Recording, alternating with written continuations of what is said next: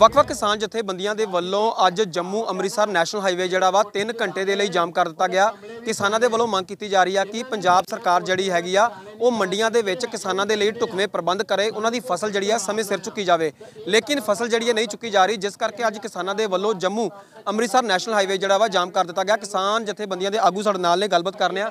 ਦੱਸ ਦਿਓ ਜੀ, ਇਹ ਜਿਹੜਾ ਬੰਦ ਕੀਤਾ ਗਿਆ ਵਾ, ਜੰਮੂ ਅੰਮ੍ਰਿਤਸਰ ਨੈਸ਼ਨਲ ਹਾਈਵੇ, ਕਿਉਂ ਬੰਦ ਕੀਤਾ ਗਿਆ? ਕੀ ਕੁਝ ਮੰਗਾਂ ਹੈਗੀਆਂ ਨੇ ਆਪਣੀਆਂ? ਸਾਡੀ ਜਿਹੜੀ ਮੇਨ ਮੰਗ ਹੈ ਉਹ ਹੈ ਸਰਕਾਰੀ ਖਰੀਦ ਉਹਨਾਂ ਨੇ ਕਿਹਾ ਸੀ, ਪਹਿਲੀ ਅਕਤੂਬਰ ਤੋਂ ਸ਼ੁਰੂ ਕਰਾਂਗੇ। ਅਸੀਂ ਕੱਲ ਮੰਡੀਆਂ ਦਾ ਦੌਰਾ ਕੀਤਾ। ਕਿਤੇ ਵੀ ਕੋਈ ਸਰਕਾਰੀ ਖਰੀਦ ਜਿਹੜੀ ਸ਼ੁਰੂ ਨਹੀਂ ਹੋਈ, ਜਿਹੜੀ ਕੋਈ ਆਉਂਦਾ ਝੋਨਾ, ਉਹ ਪ੍ਰਾਈਵੇਟ ਲੋਕ ਖਰੀਦਦੇ ਨੇ ਤੇ ਉਹਦੇ ਨਾਲ ਕਿਸਾਨਾਂ ਦੀ ਲੁੱਟ ਹੋ ਰਹੀ ਹੈ। ਇਸ ਸੰਦਰਭ ਦੇ ਵਿੱਚ ਅਸੀਂ ਇਹ ਜਾਮ ਕੀਤਾ। ਸਾਡਾ ਆੜਤੀ ਆੜਤੀ ਵੀ ਨਾਲ ਨੇ, ਸ਼ੈਲਰ ਮਾਲਕ ਵੀ ਨਾਲ ਨੇ। ਸ਼ੈਲਰ ਮਾਲਕਾਂ ਦੀ ਉਹ ਵੱਖਰੀ ਮੰਗ ਹੈ, ਕਿਉਂਕਿ ਇਹ 67 ਕਿਲੋ ਚੌਲ ਲੈਂਦੇ ਨੇ, ਜਿਹੜੀ ਕੇਂਦਰ ਸਰਕਾਰ ਹੈ। ਕੁਇੰਟਲ ਪਿਛੇ। ਉਹਨਾਂ ਦੀ ਇਹ ਮੰਗ ਆ ਵੀ ਸਾਡੇ ਕੋਲ 65 ਕਿਲੋ ਲੈ ਜਾਣ, ਕਿਉਂਕਿ ਜਿਹੜੀਆਂ ਨਵੀਆਂ ਕੋਈ ਫ- ਆਈਆਂ ਨੇ ਕਿਸਮਾਂ ਉਹ ਕਹਿੰਦੇ ਨੇ ਉਹਨਾਂ ਦਾ ਝਾੜ ਥੋੜਾ ਘੱਟ ਹੋਇਆ ਮਤਲਬ ਵੀ ਚੌਲ ਘੱਟ ਨਿਕਲਦੇ। ਇੱਕ ਉਹਨਾਂ ਦੀ ਉਹ ਮੰਗ ਹੈ ਸਾਡੀ ਮੰਗ ਹੈ ਭਈ ਸਰਕਾਰੀ ਸਕੀਮ ਸ਼ੁਰੂ ਹੋਏ ਉਹਦੀ ਲਿਫਟਿੰਗ ਹੋਵੇ ਸਮੇਂ ਸਰ ਜਿਹੜਾ ਜ਼ਿਮੀਂਦਾਰਾਂ ਨੂੰ ਉਹਨਾਂ ਦੇ ਪੇਮੈਂਟ ਮਿਲੇ ਸਰਕਾਰ ਵੱਲੋਂ ਦਾਵਾ ਕੀਤਾ ਜਾ ਰਿਹਾ ਕਿ ਮੰਡੀਆਂ ਦੀ ਜਿਹੜੀ ਖਰੀਦ ਵਾ ਉਹ 1 ਤਰੀਕ ਤੋਂ ਸ਼ੁਰੂ ਹੋ ਚੁੱਕੀ ਆ ਫਸਲ ਜਿਹੜੀ ਚੁੱਕੀ ਜਾ ਰਹੀ ਹੈ ਨਹੀਂ ਜੀ ਬਿਲਕੁਲ ਝੂਠ ਹੈ। ਅਸੀਂ ਕੱਲ ਆਪ ਦੌਰਾ ਕੀਤਾ ਮੰਡੀਆਂ ਦਾ ਕਿਸੇ ਮੰਡੀ ਵਿੱਚ ਕਿਤੇ ਕੋਈ ਸਰਕਾਰੀ ਖਰੀਦ ਨਹੀਂ ਮਾਲ ਉੱਥੇ ਹੀ ਪਿਆ ਜਿਹੜਾ ਉਹਨਾਂ ਨੇ ਚੁੱਕਿਆ ਵੀ ਹੈ ਉਹ ਵੀ ਉੱਥੇ ਪਿਆ ਮੰਡੀਆਂ ਦੇ ਵਿੱਚ ਹੀ ਮੰਗ ਕੀ ਹੈਗੀ ਆ? ਕੀ ਹੱਲ ਕੀ ਹੈਗਾ ਇਹਦਾ ਫਿਰ? ਹਾਲੇ ਹੋਈ ਸਰਕਾਰੀ ਅ, ਖਰੀਦ ਹੋਵੇ। ਪਹਿਲੇ ਜਿਹੜੇ ਚੌਲ ਚੁੱਕੇ ਜਾਣ ਸ਼ੈਲਰਾਂ ਨੂੰ ਕਿਹਾ ਜਾਏ ਸ਼ੈਲਰ ਮਾਲਕਾਂ ਨੂੰ ਵੀ ਉਹ ਚੌਲ ਚੁੱਕਣ ਤੇ ਸਰਕਾਰੀ ਖਰੀਦ ਸ਼ੁਰੂ ਹੋਵੇ। ਮੇਨ ਮੁੱਦਾ ਸਰਕਾਰੀ ਸ਼ਕੇ- ਸਕੇ ਖਰੀਦ ਸ਼ੁਰੂ ਹੋਵੇ ਤੇ ਸਮੇਂ ਸਿਰ ਪੇਮੈਂਟ ਹੋਏ ਕਿਸਾਨਾਂ ਨੂੰ।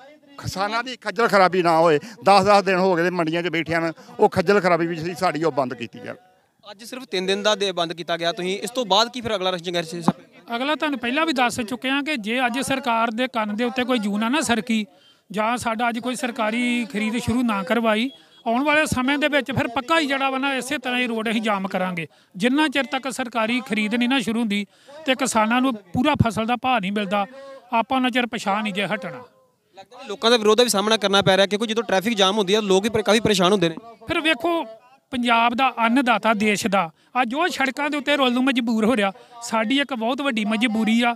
ਸਾਡੇ ਕੋਲ ਸੜਕਾਂ ਤੇ ਬਹਿਣ ਨੂੰ ਕਦੇ ਇੰਨਾ ਟਾਈਮ ਹੈਗਾ। ਕਿਸੇ ਦੇ ਕੋਲ ਵੀ ਨਹੀਂ ਹੈਗਾ। ਇਸ ਕਰਕੇ ਆ ਧੁੱਪਾਂ ਦੇ ਵਿੱਚ ਬਹਿਣਾ। ਅਸੀਂ ਸੱਪਾਂ ਦੀਆਂ ਸਿਰੀਆਂ ਮਿੱਧ ਮਿੱਧ ਕੇ ਆਪਣੀਆਂ ਫਸਲਾਂ ਪਾਲੀਆਂ। ਅੱਜ ਉਹੀ ਕਿਸਾਨ ਦੀ ਫਸਲ ਜਿਹੜੀ ਆ ਬਰਬਾਦ ਹੋ ਰਹੀ ਆ। ਤੇ ਸਰਕਾਰ ਜਦੋਂ ਬਣਦੀ ਉਹਦੇ ਝੂਠੇ ਵਾਅਦੇ ਕਰ ਕਰਕੇ ਉਦੋਂ ਸਰਕਾਰਾਂ ਬਣਾਉਂਦੀਆਂ। ਪਰ ਅਜੇ ਤੱਕ ਕਿਸਾਨ ਦੇ ਹਿੱਤ ਦੇ ਵਿੱਚ ਕੋਈ ਸਰਕਾਰ ਵੀ ਨਹੀਂ ਆਈ। ਇਸ ਕਰਕੇ ਅਸੀਂ ਇਹ ਮੰਗ ਕਰਦੇ ਹਾਂ ਸਰਕਾਰ ਦੇ ਕੋਲੋਂ ਕਿ ਅੱਜ ਹੀ ਤੁਰੰਤ ਪ੍ਰਸ਼ਾਸਨ ਅਧਿਕਾਰੀਆਂ ਦੇ ਨਾਲ ਆਪਣੀਆਂ ਮੀਟਿੰਗਾਂ ਕਰਕੇ ਤੇ ਮੰਡੀਆਂ ਦੇ ਵਿੱਚ ਦੌਰੇ ਕਰਵਾ ਕੇ ਦੀ ਖਰੀਦ ਸ਼ੁਰੂ ਕਰਵਾਉਣ। ਨਹੀਂ ਤੇ ਆਉਣ ਵਾਲਾ ਸਮਾਂ ਜਿਹੜਾ ਬਹੁਤ ਭਿਆਨਕ ਇਹਦਾ ਸਰਕਾਰ ਨੂੰ ਭੁਗਤਣਾ ਪਵੇਗਾ। ਬਿਲਕੁਲ ਇਹ ਸਾਰੇ ਕਿਸਾਨ ਜਥੇਬੰਦੀਆਂ ਦੇ ਆਗੂ ਜਿਨ੍ਹਾਂ ਦੇ ਵੱਲੋਂ ਸਾਫ਼ ਤੌਰ ਤੇ ਕਿਹਾ ਜਾ ਰਿਹਾ ਕਿ ਜਲਦ ਤੋਂ ਜਲਦ ਸਰਕਾਰ ਜਿਹੜੀ ਆ ਆਪਣੇ ਅਧਿਕਾਰੀਆਂ ਦੇ ਨਾਲ ਮੀਟਿੰਗਾਂ ਕਰਕੇ ਮੰਡੀਆਂ ਦੇ ਵਿੱਚ ਖਰੀਦ ਜਿਹੜੀ ਆ ਉਹ ਸ਼ੁਰੂ ਕਰਵਾਈ ਜਾਵੇ ਢੁਕਵੇਂ ਪ੍ਰਬੰਧ ਜਿਹੜੇ ਨੇ ਕਿਸਾਨਾਂ ਦੇ ਲਈ ਕੀਤੇ ਜਾਣ। ਜੇਕਰ ਪ੍ਰਬੰਧ ਨਹੀਂ ਹੁੰਦੀ ਤਾਂ ਆਉਣ ਵਾਲੇ ਸਮੇਂ ਦੇ ਵਿੱਚ ਵੱਡਾ ਸੰਘਰਸ਼ ਜਿਹੜਾ ਵਾ ਕਿਸਾਨ ਜਥੇਬੰਦੀਆਂ ਵੱਲੋਂ ਕੀਤਾ ਜਾਵੇਗਾ। ਕੈਮਰਾ ਪਰਸਨ ਜਗਜੀਤ ਸਿੰਘ ਦੇ ਨਾਲ ਅਵਤਾਰ ਸਿੰਘ ਦੈਨਿਕ ਸਵੇਰਾ ਟੀਵੀ ਗੁਰਦਾਸਪੁਰ।